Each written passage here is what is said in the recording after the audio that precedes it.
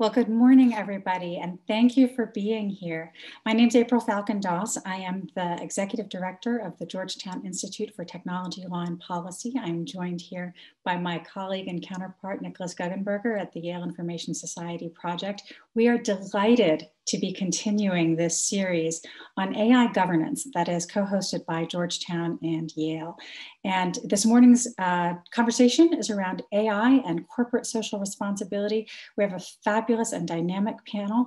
And so without further ado from me, let me turn it over to our moderator, Alexandra Reeve Givens from the Center for Democracy and Technology.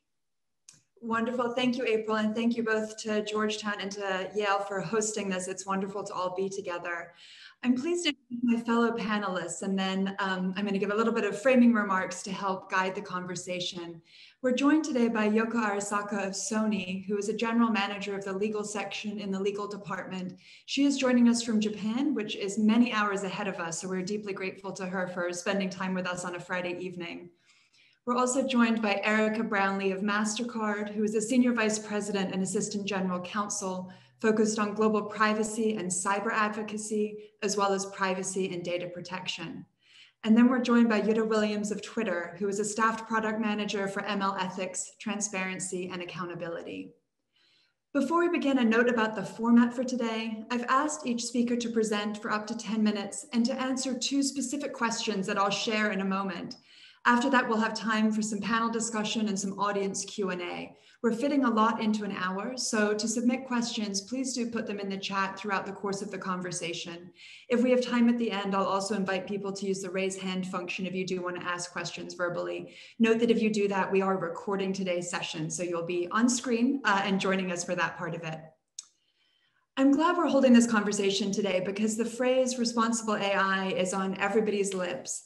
At my organization, the Center for Democracy and Technology, we spend a lot of time studying examples where the use of AI in decision making has resulted in significant unintended consequences that shape people's lives. Some common areas that advocates and increasingly lawmakers have homed in on are things like the use of AI in hiring to screen resumes or analyze and recorded videos, the use of AI to determine people's eligibility for benefits, the use of AI to detect fraud in government programs, and during the pandemic, the use of AI in exam proctoring software. Another important area in these conversations is the use of AI by law enforcement, most notably in facial recognition technology, where some models have famously been shown to be less accurate on darker skin tones. AI is also being used actively in content moderation by social media services, as we'll hear a little bit about today, as platforms grapple with just the fire hose of content that is uploaded to their services every minute. Those are just some examples, but I think what's particularly interesting about conversation is hearing from folks inside the companies about the types of uses of AI that their businesses are using and how they navigate some of the questions that arise. In each setting, the important questions are what are the opportunities presented by this technology? And of course, what are the risks? What should companies be doing to address those risks? That then allows us to have a more informed and reasonable conversation about to what extent regulation or liability regimes are needed to ensure that companies take important steps to mitigate against risk versus softer modes of self-governance or industry codes of conduct. So I hope we'll get to a conversation of that today. To help us cut into this material in an accessible way, I've asked our speakers to answer two questions in their remarks. First, within your company, what uses of AI raise questions of AI ethics and social responsibility? And then how are you responding to those concerns? We'll begin now with the presentations and I'll pass it over to Yoko Arisaka of, so of Sony. Please, Ms. Arisaka, take it away. Thank you very much. Hi, everyone. My name is Yoko Arisaka from Sony Group Corporation.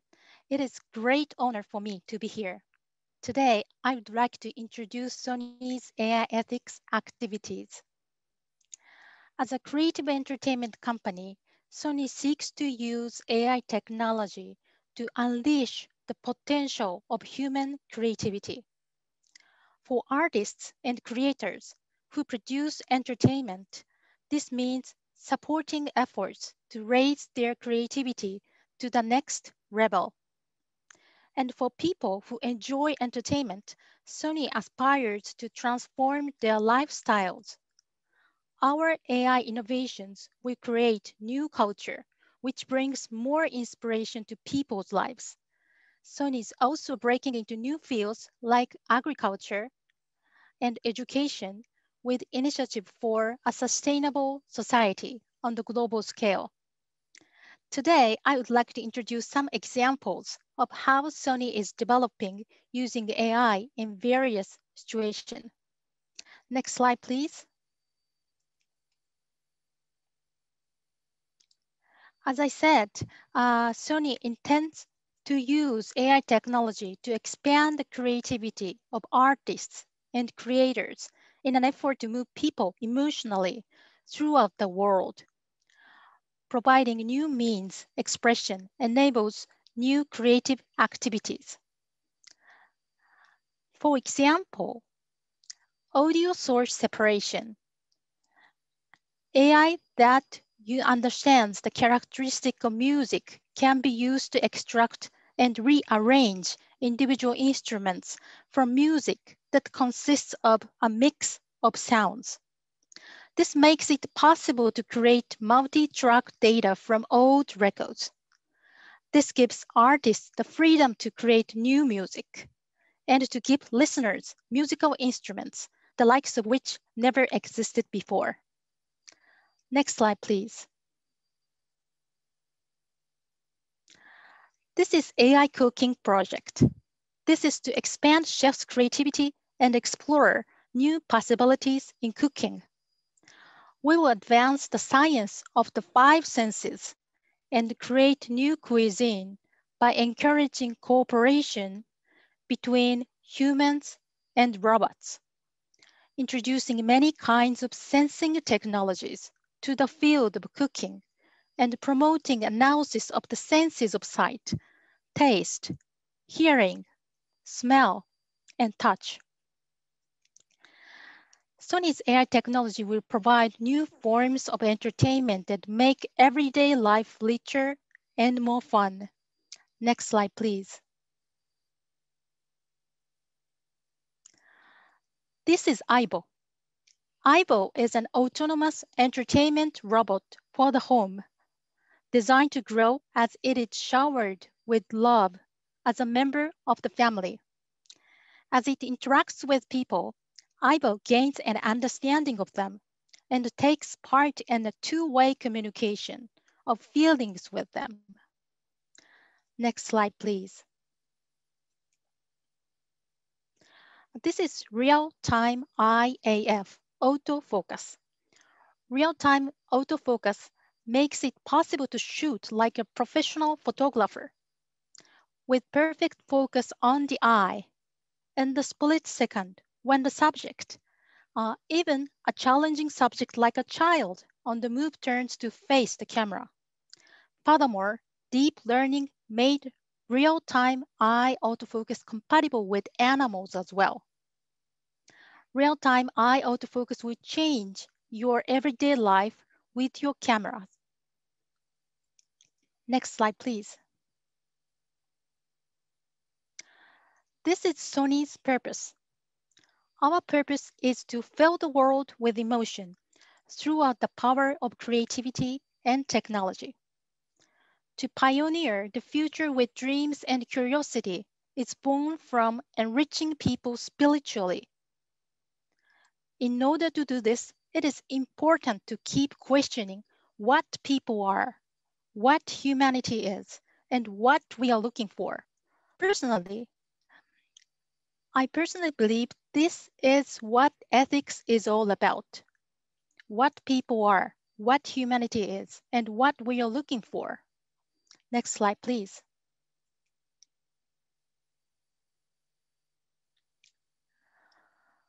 Sony establishes the Sony Group AI Ethics Guidelines in September 2018. Sony has its Group AI Ethics Committee to ensure that our research, development, and utilization is socially and ethically appropriate according to the AI ethics guidelines. Next slide, please.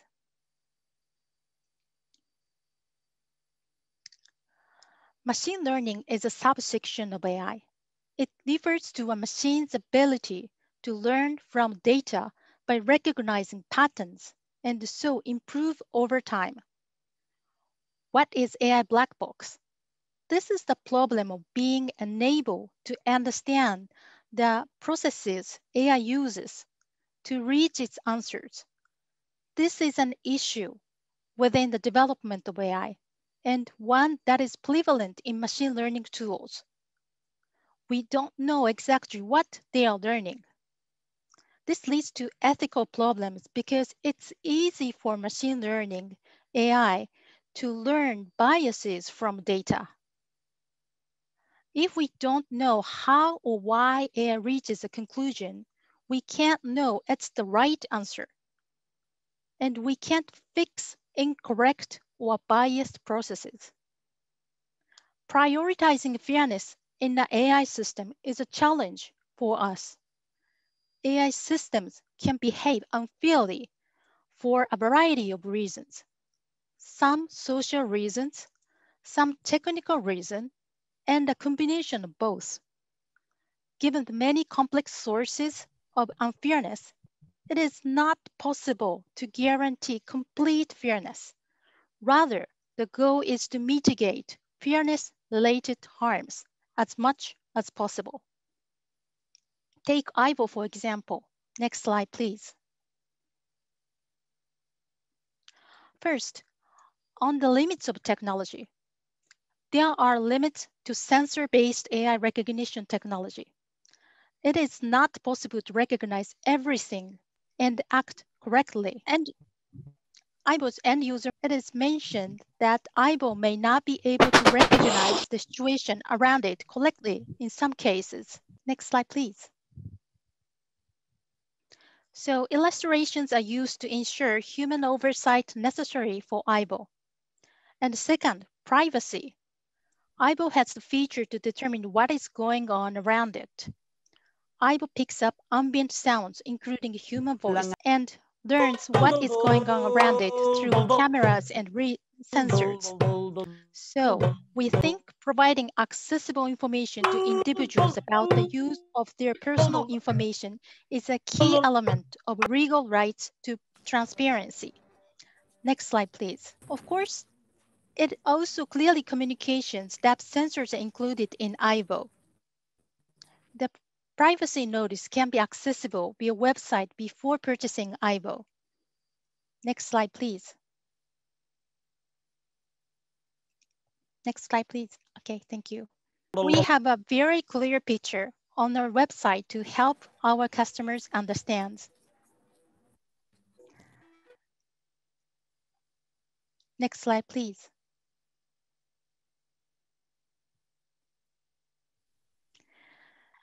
Uh, the difficulty is that people's sense of ethics differs according to region, culture, generation, education, and family environment. Even if you don't find a certain product, service, or content scary, people in other countries may find it scary. As a company with global operations, it is very difficult to determine what ethics we should follow.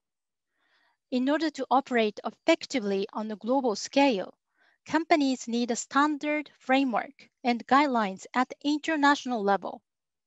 This is why Sony proactively advances a dialogue with related industries, organizations, academia, and more. And today is the best opportunity for me to learn from other companies about AI ethics. Thank you very much. Thank you so much, and thanks for, for putting up with some of this background noise. I think we've managed to uh, to deal with most of it. Back, Jutta, could I ask you to go uh, next, and then we'll switch the order? Thank I'd be you. Very, I'd be very happy to. Um, thank you so much for this opportunity, and that was a fantastic first presentation, Yoko. It's a it's an honor to be on this panel with all of you. Um, and thank you for letting me oh. join. Oh. Um, if it's all right, I'll go ahead and share my screen. I wanted to share um, a perspective uh, that wasn't necessarily slides based. And it was uh, to demonstrate the importance of uh, developing in the open and public accountability. So I wanted to start by explaining that Twitter has had for some long period of time an internal initiative around ensuring that the ML that we use, the machine learning algorithms that we use to make determinations around recommendations for your home timeline, uh, for identifying and eradicating terrorism on our workspace, on our, on, our, on our platform, as well as finding toxic content. These sorts of algorithmic decision-making systems are uh, assessed for fairness and for all kinds of other potential harms. Uh, we have recently gone very public with this initiative and this company-wide initiative called Responsible ML. And it received quite a lot of uh, feedback from the community and which was our intention and our goal. So rather than develop slides today, I thought I would go through what we are saying publicly because we are developing all of this work in the public space these days and uh, demonstrate for you how public accountability can drive some change in platforms like ours. So uh, about what has been about three weeks ago on April 14th, we announced this company-wide initiative called Responsible ML. And we suggested that there were four pillars to the work that we've been doing and that we're going to continue to do a little bit more openly and transparently. The first is taking responsibility for the actual decisions we're making and coming forward with findings from all of the ways that we're investigating how machine learning is, is affecting people both positively and negatively on our platform. The second is to really focus on outcomes and to ensure that we're sharing uh, research as well as uh, findings and investigative reporting related to how equity and fairness is, is, is implemented on our, on our platform. And uh, the third is around transparency and making sure that we're sharing this very vocally, publicly, and informatively with the, the community of interest. And we have a lot of different customers for this sorts of this sort of information. More and more, the public is becoming aware of how algorithms affect their daily lives. We want to be informative to the users of our platform as well as just the general public. We have a lot of regulatory interest, and so we're working in partnership with a lot of agencies like um, consumer advocacy groups, uh, civil rights groups, with regulatory bodies around the world. And uh, we're going to be a lot more transparent about those conversations as well and, and how we're participating in that dialogue.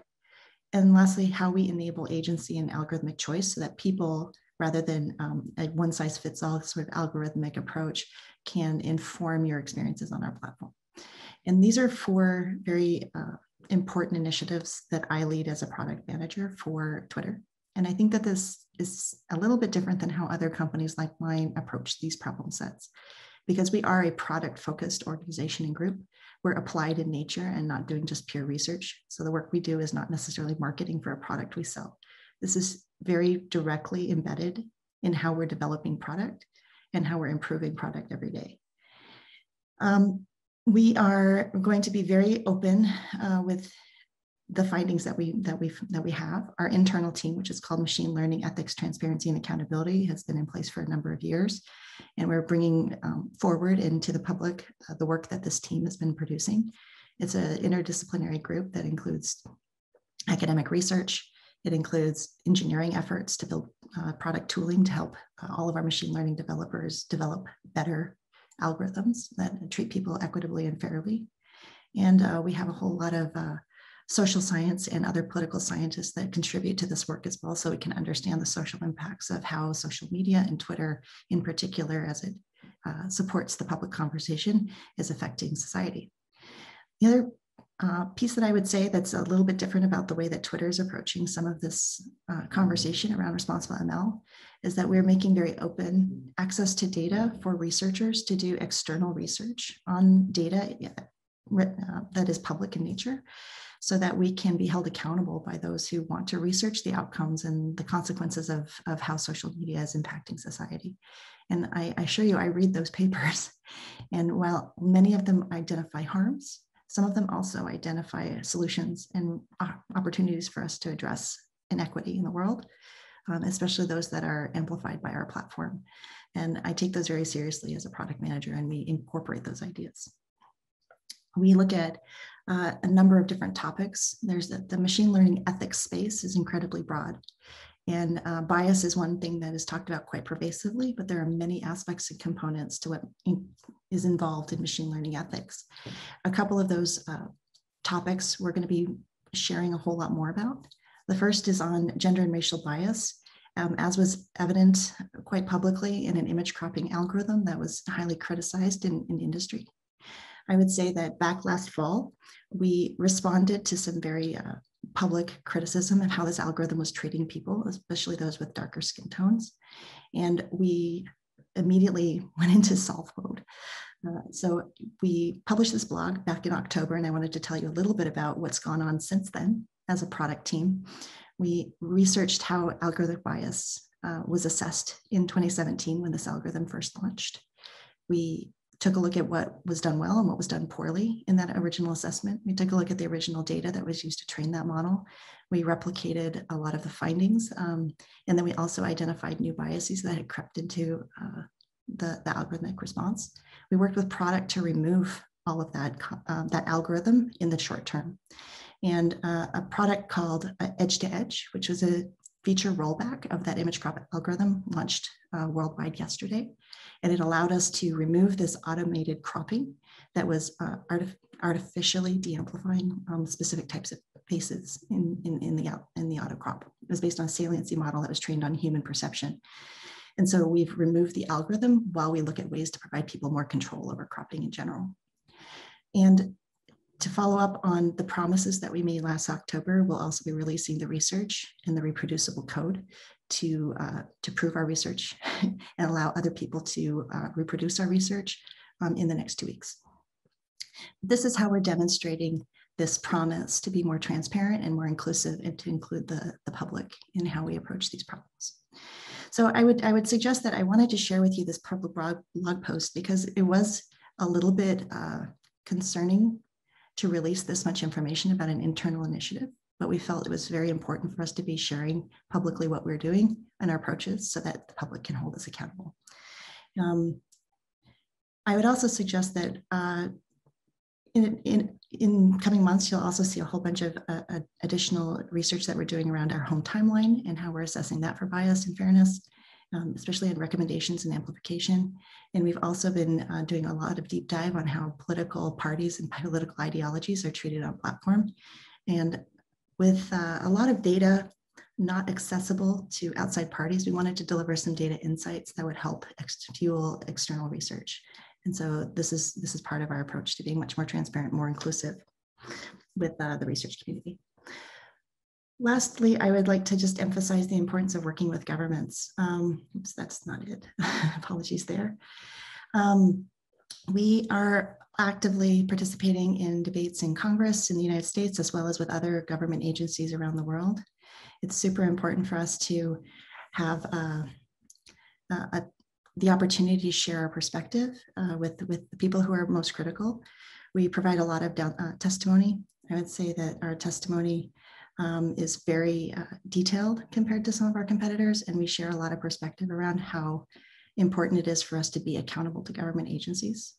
We're going to talk a lot more about self-governing um, models, and we're going to talk a lot more today, understand about how governance in general might be applied to AI from government systems, where we embrace that opportunity. And I think in the last testimony, we we're the only ones who said that we believe that GDPR in the US would not be such a bad thing.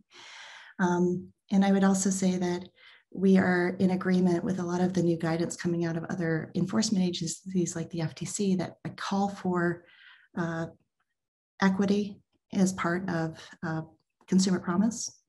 And I would highlight especially that ethical principles like the golden mean are directly applicable to some of the regulatory frameworks that we're that we're looking to comply with. So I look forward to more conversation. Um, Alexandra, I hope that uh, this gave you a little fuel for the follow-up conversations, and I will try to be under the 10-minute mark by passing the baton back. Wonderful, thank you. Erika, go ahead. I don't know how to stop. there.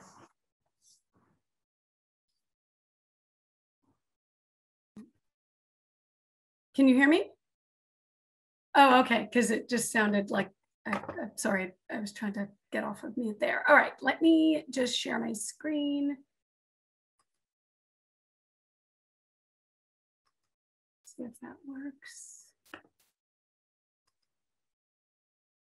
Okay, let's hope that that works. Know if uh, people can see my screen. Yes. Okay, great. Sorry. Um, so um, thank you, uh, Alex, and also, of course, to uh, Georgetown TechNet Working Group and um, the Yale School of uh, Information Product Society Project, if, I, if I'm getting that uh, title right for organizing the panel. Um, to frame up my comments around AI ethics and social responsibility, I wanted to start off with our, our approach to general, uh, you know, more generally to data responsibility. And whether it's AI or biometrics or connected devices, at the end of the day, it comes down to trust uh, for us. Trust that we as providers of products and services to consumers will be good stewards of their personal information. So at MasterCard, our journey has been guided by a commitment to data ethics and to um, world-class privacy and security standards. And we made this commitment um, public in the form of a data responsibility initiative. Let's see if I can actually do my slide. Yeah, uh, that serves, and this data responsibility uh, initiative or imperative serves as our North Star in representing the notion that individuals have rights around how their data is used. And then uh, on the flip side, that ethical entities have certain responsibilities to ensure that individuals and their rights are honored.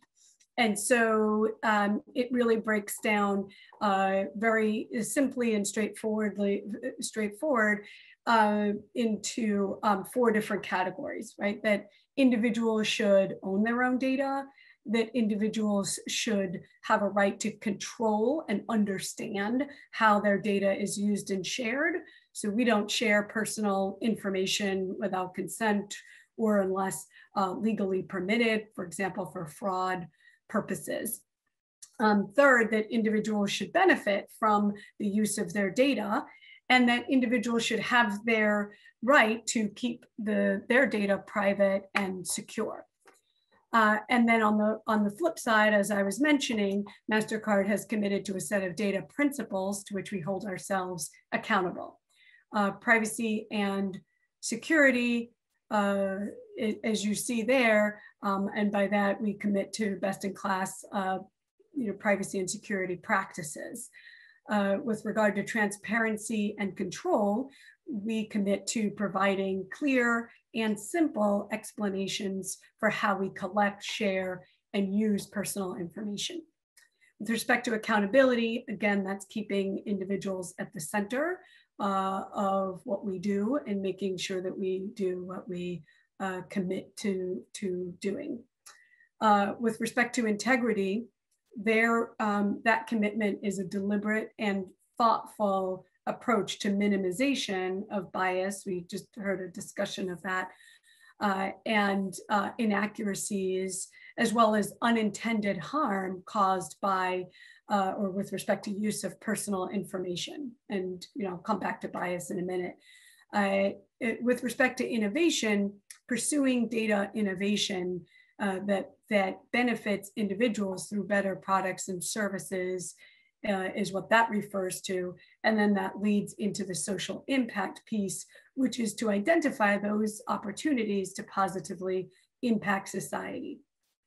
So these principles serve as our North Star, uh, as I mentioned, with regard to data design and application for AI at MasterCard so that we are able to keep our practices, uh, you know, ethical um, and with individual at individuals at the center.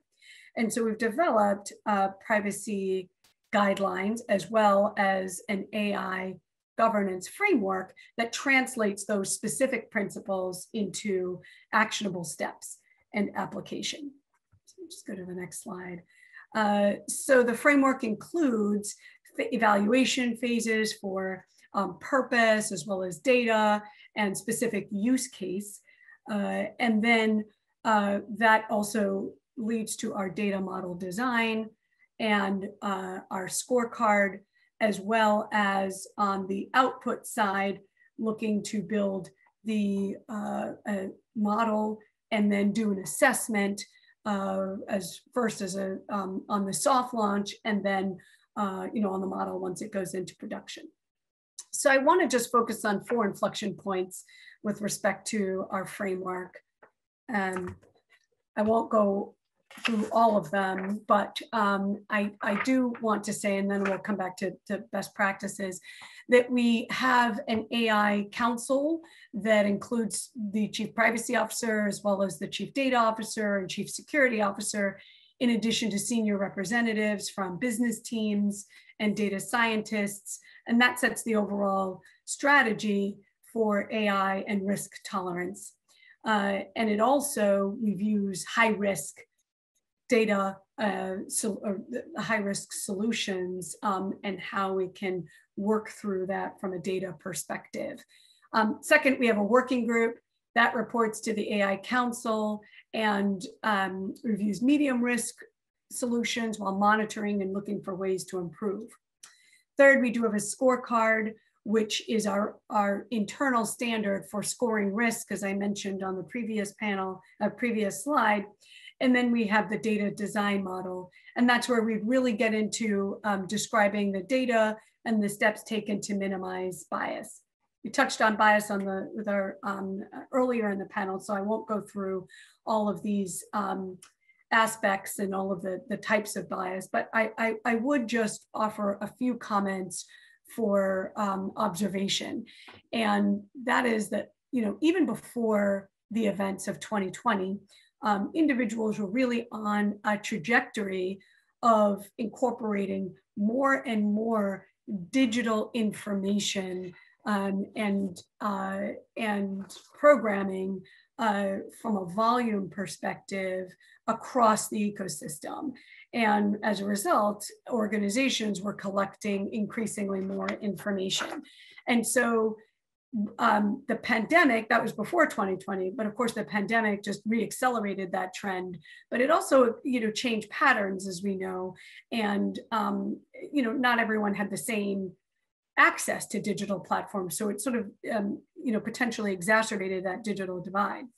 So from the perspective of AI, and you know I, I note on there um, selection bias for example which is when you're you know not taking that represented uh, sample appropriately um, to reflect the population um, data that was collected for example in 2019 looked a lot different from data collected in 2020 so and of course that'll you know change from um, this year and to 2021 and so it could impact the, the type of um, sample data could also um, have an impact on latent bias which relies on that recent historical uh, data and can really distort the, the algorithmic outcomes, particularly for uh, you know, diverse groups of people, uh, you know, race and gender included in that, in those groupings.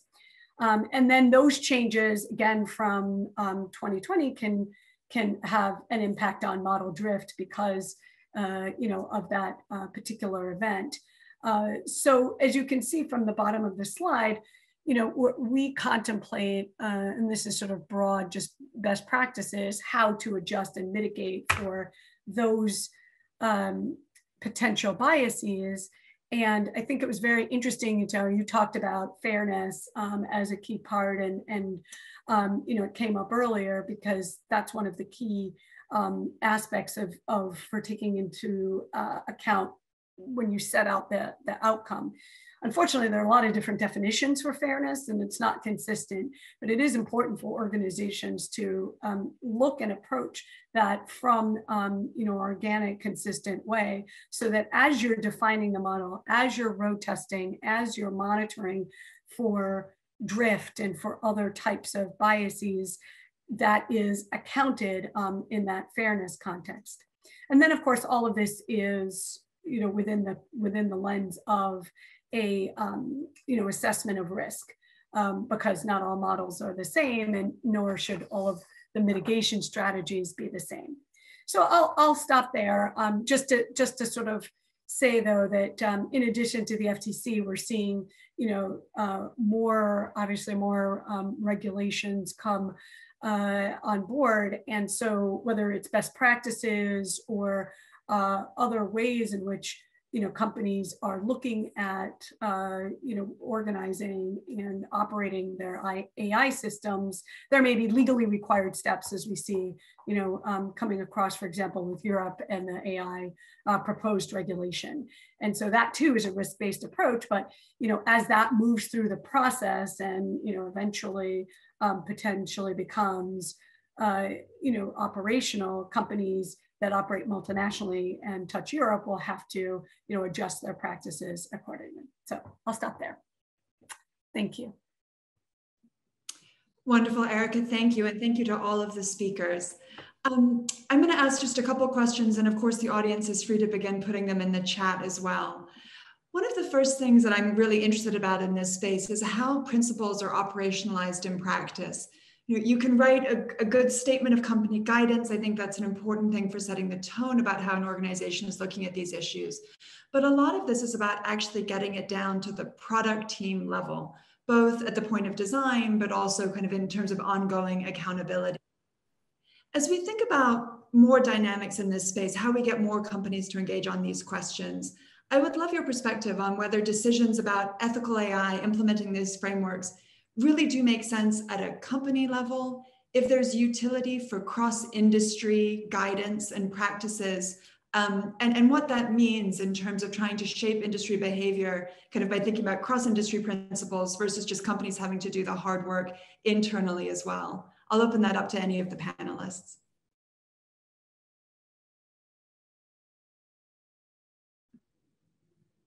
Oh, Jutta, we can't hear you.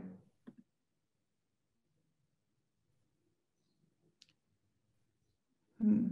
Nick, are you able to use your hosting capacity to get her unmuted?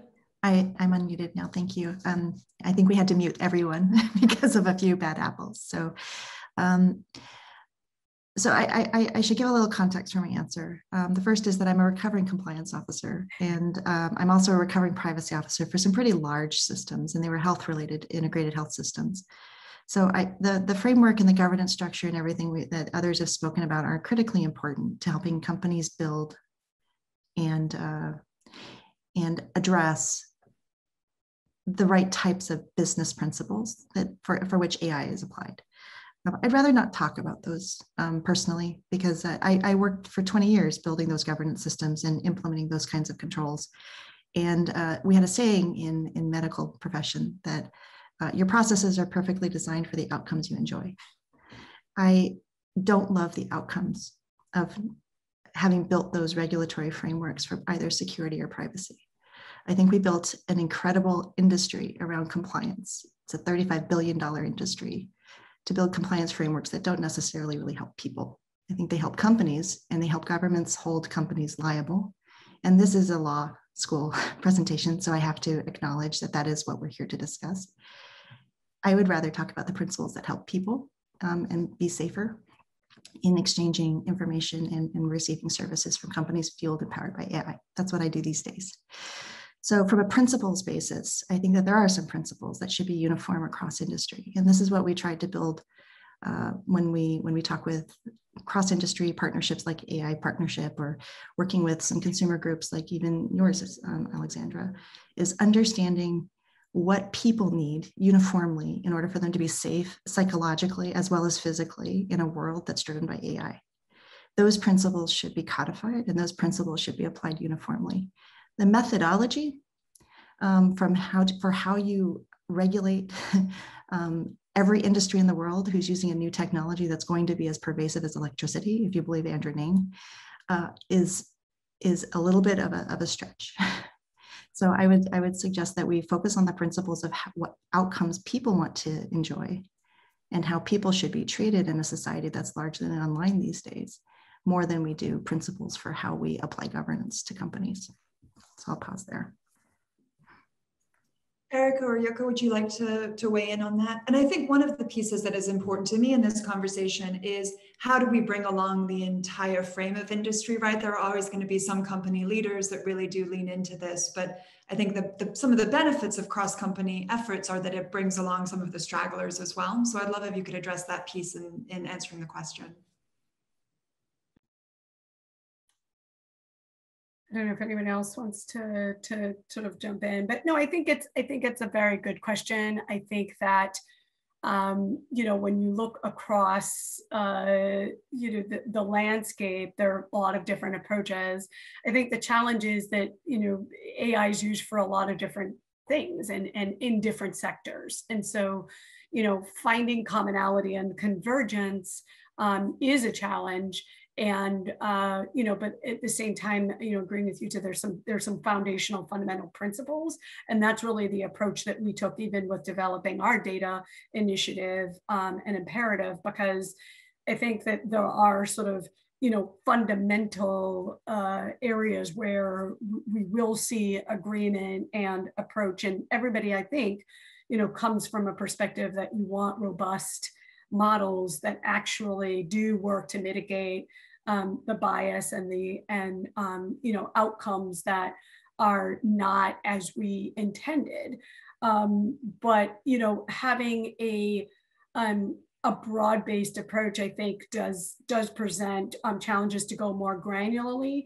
Uh, so you know, if it's possible, uh, you know, to sort of start almost from um, you know, a higher level and then um, work from there. That's sort of where, you know, we might might be able to to gather um, consensus and momentum. There are lots of, of, of you know, groups, including um, from the academic uh, uh, area, as well as uh, some of the think tanks that are really putting a lot of effort into um, the thought leadership here. And I think we can borrow from, you know, all of those environments to try to create a standard that not only what I'd like to see is not only something though that is, um, you know, uh, just from a principle standpoint, but also that can be operationalized. Otherwise, we sort of we don't move forward. Um, and then you can kind of use the the use cases like against that. Um, so you know that's that's sort of where I am. I know it's a bit it's it's it's a bit more general, um, but uh, and uh, you know I do have the privacy lens you, Jutta so I know you're you're recovered, but I that I, I would be remiss without sort of you know making sure that this part of of um, of these principles and this approach definitely incorporates those privacy uh, driven principles. So, you know, from the perspective of, you know, minimization, from the perspective of, and when I say minimization, I don't just mean, you know, collecting less data, but also using, thinking of ways, privacy enhancing technologies, thinking of ways where you're reducing the use and reliance on identifiable information, whether that's through um, you know anonymization or encryption or other types of obfuscation where you're adding noise to the data doesn't affect uh, the value um, and the ability to extract the outcome, but it does reduce the, the, the privacy implications. Um, Jutta, I was so glad that in your remarks you talked about researcher access to data. Um, for CDT, my organization, that's a hugely important point as we think about algorithmic accountability and the important role that the outside community can play in helping to understand what potential harms might be and how to mitigate them. I'm curious, either for Yoko or for Erika, how you think about your relationship with the research community thinking about um, algorithmic accountability and in particular how that layers into the kind of the very common conversations happening right now about third party audits for algorithmic systems as an important way to look for and mitigate harms yoko why don't we start with you Yes, thank you very much. That is a very good question. And um, we have some um, um, we have built up technological tools and datasets with academia, such as an explainable AI, which makes visible how machine learning works and systems that protect against malicious attacks. So we are offering some of these technologies as solution to external partners. And one of them is the neutral neural network console, a tool that makes possible um, to external partners and uh, the development of advanced AI through deep learning, no coding necessary. And uh, the net neural network console enables deep learning R&D sim simply by dragging and dropping on the computer. And by using that technology and R&D, uh, it is very easy to audit that kind of, uh, to find AI ethics problems. So I think it is very important to uh, cooperation with R&D and academia and to find a solution to how to uh, easily find an AI ethics issues by audit state and after monitoring state.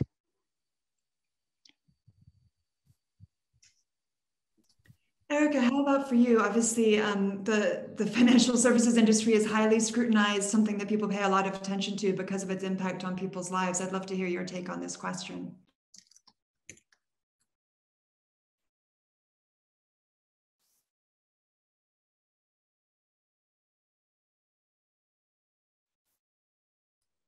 Okay, can you hear me? Okay, I'm unmuted. Sorry, I put myself on mute and I didn't realize I was still there. Um, yeah, I mean, I think that it is, you know, this is a, a very good question um, in terms of, you know, working with uh, the from the academic approach. First of all, it's an iterative loop, right? Like the the the development um, in in this field, I think, is critically, um, you know, improved by looking towards um, the academic field to, to see how not only we can um, make the systems more robust, but also to you know, work through those mitigations. Um, with respect to uh, research standards, I think that it comes up in, in, in two places. First of all, when I was talking about bias earlier, I think it's really important to vet the, um, the particular types of um, variables against those, you know, as I was saying, those research standards to make sure that that that they are capturing um, uh, the, you know, the latest um, development, so that that is um, it's an iterative improvement to the model, but it needs to be vetted against the the you know the current um, research standards. So we do that. There there are um, several products on the Mastercard side that uh, that specifically are designed to, to use AI. One of them is um, in a product that it, was um, it's under a, a, brand called Brighterion, where you know they use uh, AI models to uh, help in the healthcare space, for example, to help root out um, fraud, waste, and abuse. And they work with clients to do that using their own data, um, where they're really uh, you know, the process involves a, a fairly rigorous um, six to eight week uh, process to actually work through um, the testing. And part of that would be, uh, you know, part of that rigorous testing would be vetting against um, standards, research standards. We have a question here from um, Anupam Chander in the chat asking, because you're all global companies, how are you seeking to ensure that AI is trained to deal with different cultures and languages. I'll layer on that kind of different governance environments as well. Um, Jutta, why don't we start with you? Yeah, we do business in a lot of countries. In fact, in my past lives, I worked at both Google and Facebook, where you know we had 138 countries, which includes their jurisdictions as well as their people that we serve.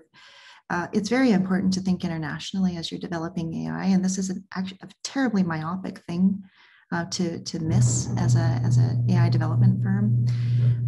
80% uh, of our users are actually outside the United States. Uh, so it's imperative that when you create representational uh, data sets for training purposes that you consider your international users in those data sets.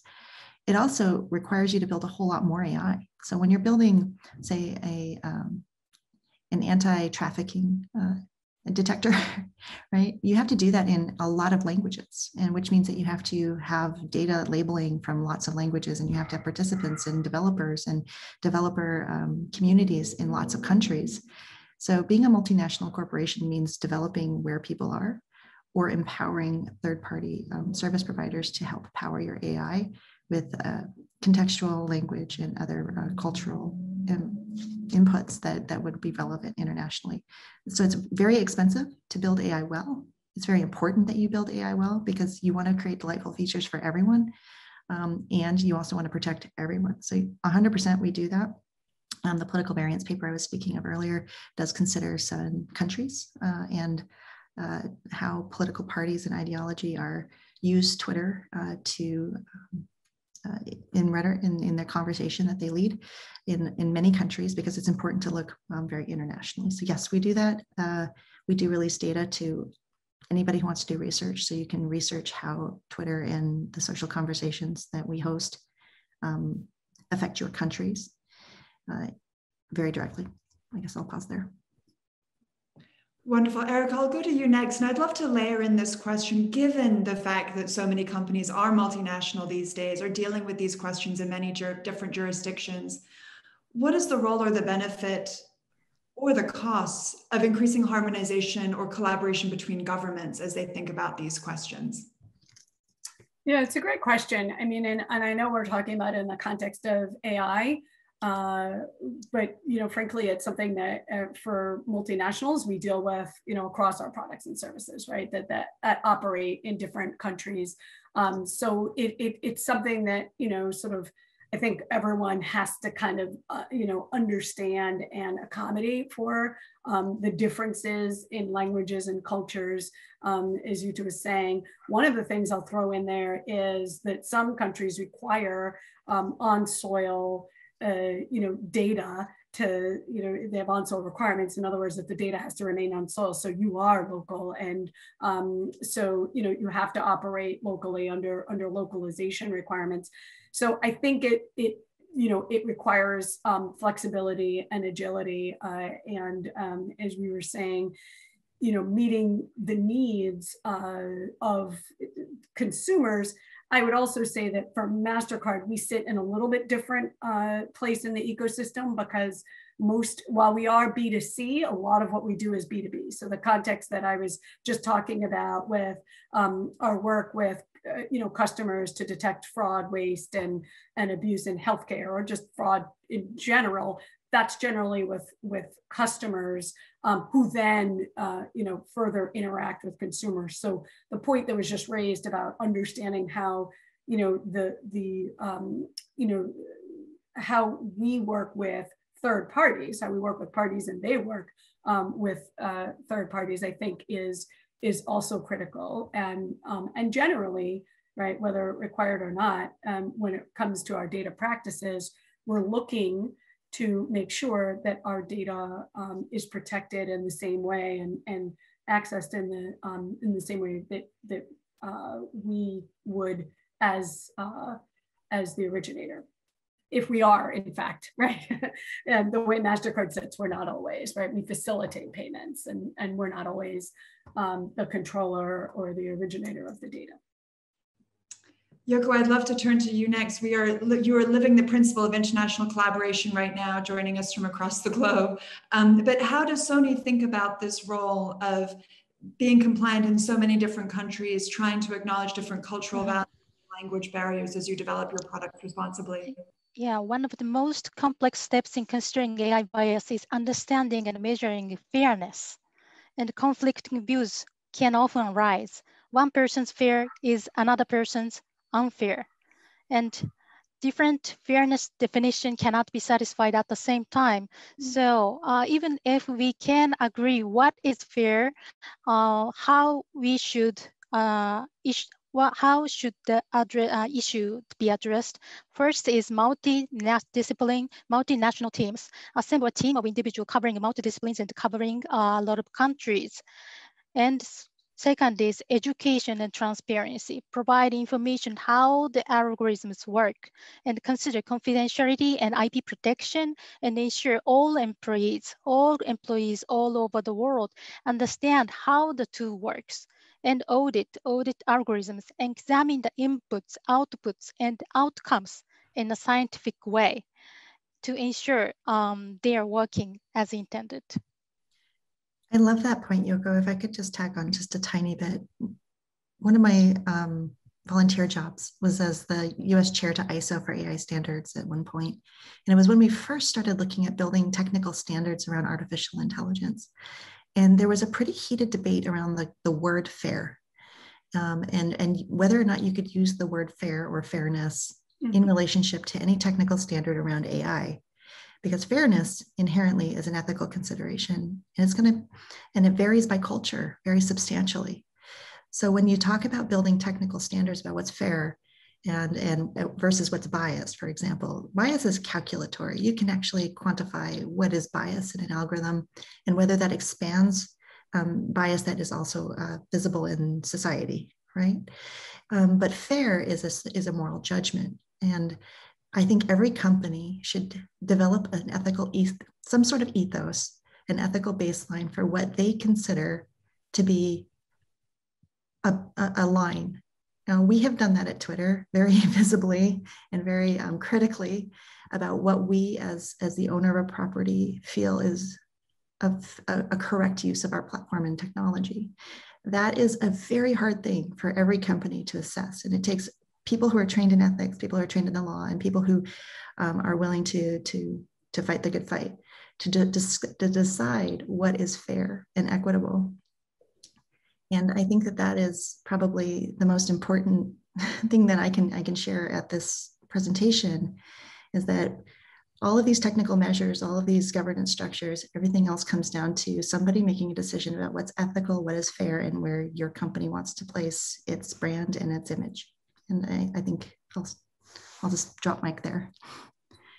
Thank you. I'm going to use moderator's prerogative to ask you all one question and to say very unfairly that I need to have quick answers from you. It's almost like a house hearing, right? I'm not going to say yes or no answers, but relatively brief. Obviously, this is a law school uh, event today, so we do think about um, the role for policymaking and, and legislation.